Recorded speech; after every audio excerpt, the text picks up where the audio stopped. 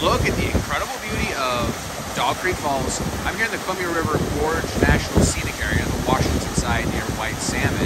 And this is the beautiful Dog Creek Falls. It's about a 33 foot drop, horsetail style waterfall.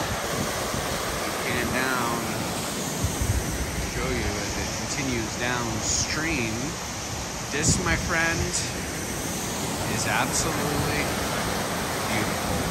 You turn off the road, a little parking area, kind of a shoulder. It's less than a one-tenth of a mile hike. You come around the corner here and bam, you got Dog Creek Falls, this beautiful horsetail waterfall.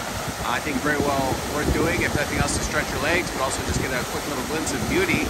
Uh, a lot of times you have to hike several miles to get a waterfall like this. In this case, it's less than a tenth of a mile.